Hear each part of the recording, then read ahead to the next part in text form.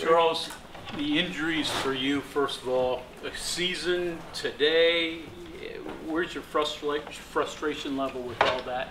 How healthy are you now? Uh, I think I'm I'm I'm at a pretty healthy uh, level, mindset in a good place. Uh, I'm just trying to find a way to go out there and help my team win. But overall, I think I'm in a good place.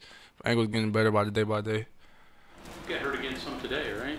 No, not really. Just come to the game, banging and bruises. I ain't get hurt. Was there any chance of you not playing in this game? No, I was. It was 100%. I was playing. When you have to mix and match so many guys, I mean, you're back in the lineup, but uh, now Rashad's out. Your your safeties are changing around. How difficult is that for a secondary to adjust to? Um, I really just think it, it come down to the guys that's in the room. Um, you know, that's that's that's that come, it fall back on us in the spring, the summer, fall of getting a. If you're not a one, if you're a two or three, getting you up to the part where, if your opportunity comes, you can come go out there and play, play at the high level. What's the difference in your eyes of this TCU team this year versus the team you played in past past years, especially here at West Virginia, in terms of obviously they've stepped up offensively, they've stepped up passing game wise, they're top ten in the country. That wasn't the case. Um, yeah, I mean, I, I only played them last year, so uh, I don't think it, they're just a different team. I think they're the same team. It's just um, today they made more plays than us. You know, we was out there and we let them have a couple plays, and you can't do that versus a, versus especially number six team in the country. So they just made more plays than us, and we gave up some plays. But I don't think overall, I don't think they are a different team. They're the same team. They, but they got good guys on each side of the ball. So. Charles, obviously going into halftime, it's only a, a one possession game, seven point game, and obviously you guys are getting the ball coming out of halftime. Uh, with that said, big plays that TCU got in the first half, um, how much of that played a, a part in the final uh, result of the, of the game? Um, you could you could really say that by every play. So I mean, I can't say that that played a you know a big significant impact on the outcome. But I do tell the guys when the big play do happen, like move on. We can't can't you know be putting our heads down, feeling sorry for ourselves. We just got to move on next play and keep playing to the zero on the clock.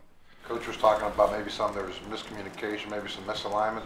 I'm thinking of one play where their slot receiver got line, got matched up with the linebacker and, and turned into a big play. Uh, how much of it was you know you know, lines getting crossed and that kind of thing? Um, you just got to tip your hat to them. You know, it's, it's good offense. Uh, sometimes, sometimes you're gonna have good offense versus good defense. So, like, like I said, you just line up, play next play.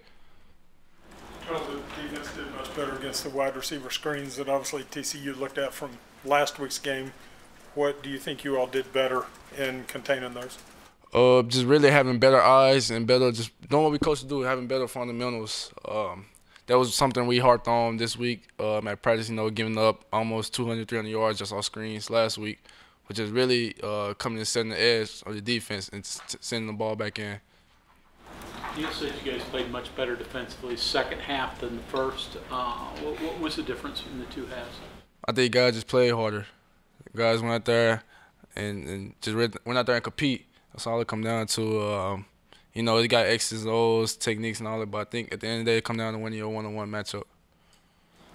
How would you evaluate the defense overall this season? Obviously, you've not been able to play in every game this year, but just from what you've watched, now the games you have taken part in. Um, I still, I still feel the same about defense that I felt day one back in January. Like this is a really good, great defense. Um, I just think most of the game we haven't just we left some, we left some players out there or was trying to do too much. But overall, I still think this is a, a good defense. We just got to put it all together.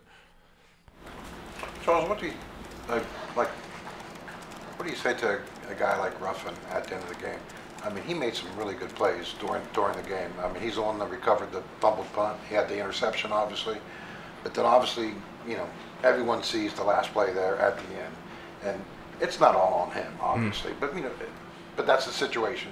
What, what do you say and, stuff? Uh, like I told Ruff at the game, I'm, I'm, proud. I'm very proud of Ruff. Um, he come in, and this is what most people don't know about um, Ruffin. Ruffin has bounced around from corner to safety to spirit, so he's learning three different positions. That is, that is hard for a Division One athlete. So um, I just told him he's no matter what, he's ready to step up and, and make a play. But I told him after the game, I'm proud of him. Um, that's a play, you know a guy just went up and got it. You know, you got to think about it. Guys on offense at other schools, they're on scholarship just like us. Obviously, he had the size. Yeah, but I'm still proud. I just told him to keep his head up next play. Charles played um, harder. You said one one on that one matchup in the second half, right? How much of that is playing man to man and and kind of challenging players just to be better in those spots? Um, yeah, man to man will give you tighter coverage, but at the same time, um, most most zone coverages around colleges turn into man defense down the field. So it's man at the end of the day.